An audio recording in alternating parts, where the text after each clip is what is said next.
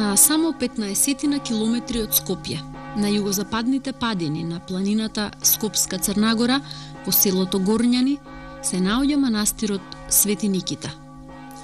Оваа планина, поради 50 цркви и манастири во пречник од само 20 на километри, е наречена и Скопска Светагора.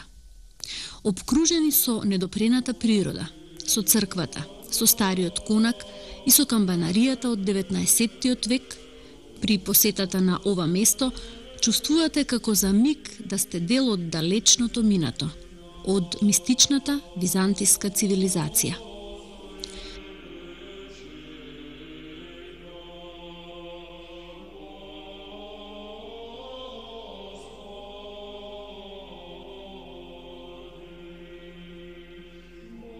Манастирската црква е подигната врз култно место, на темелите на еден древен, свет објект, кој потекнува од 11 век, а обновена е и повторно изградена во времето на кралот Милутин во 1307 година.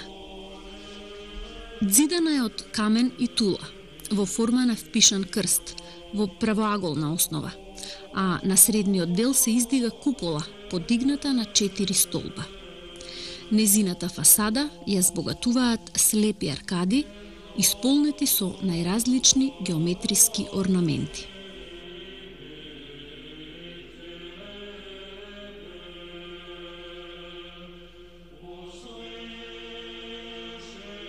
Поголем дел од живописот потекнува од времето на неизиното настанување, во периодот помеѓу 1307 и 1320 година – а изработен е од познатите мајстори Михајло и Евтихиј, кои се зографи и на фреските во црквите Свети Климент во Охрид и Свети Ѓорги во Старо Нагоричане.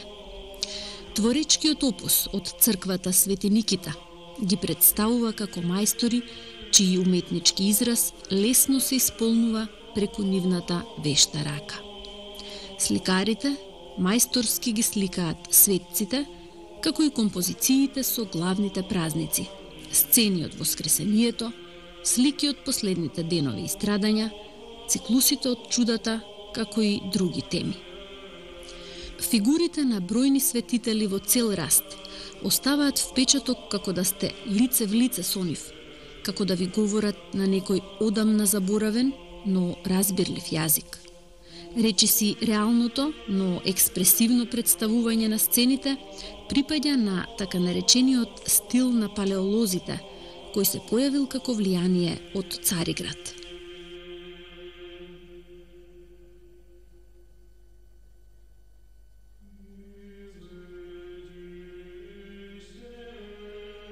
Кога Скопската област подпаднала под турска власт, за манастирот Свети Никита – настапиле тешки денови. На поголем дел од старите фрески биле направени големи оштетувања. Обновени се кон крајот на 15 век, зашто зборува надписот над јужниот влез.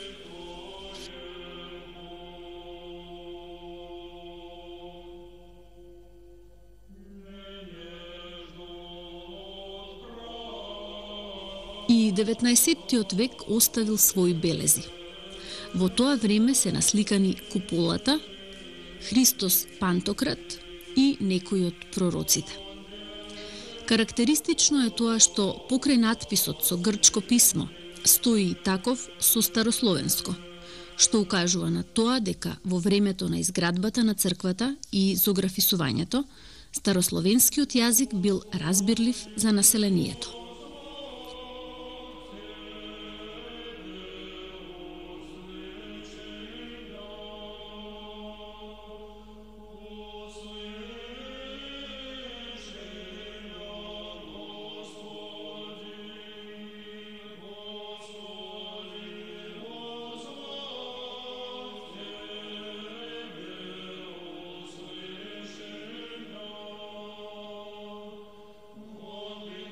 Секоја година, во чест на Свети Никита, на 28 септември, во дворот се празнува манастирската слава, на која доаѓаат гости од селото Горњани, од околните села, како и од Скопје. Секој добронамерник на овој ден може да присуствува на свечениот ручек, на службата, на традицијата на која се крши колач и се осветува вода.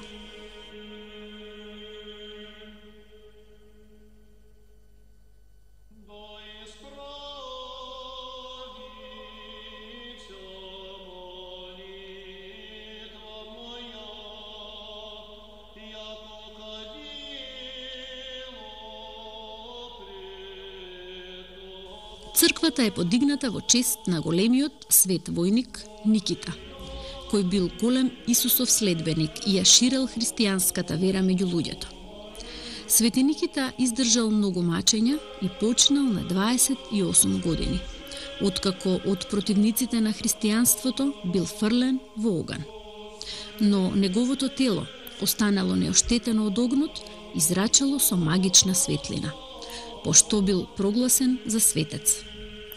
Најчесто, верниците се молат на Свети Никита да ги сочува децата од опасности, повреди и дефекти при раѓањето.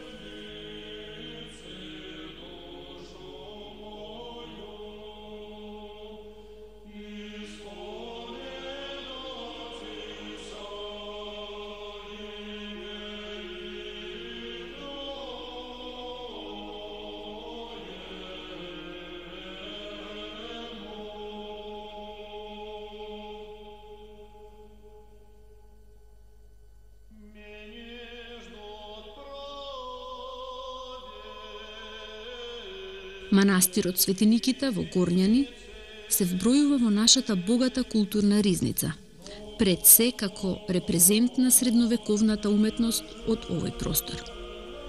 Овој манастир, кој зрачел низ вековите, во целост ги сочувал своето богатство и убавина, а доживувањето на неговата автентичност е незаменливо искуство.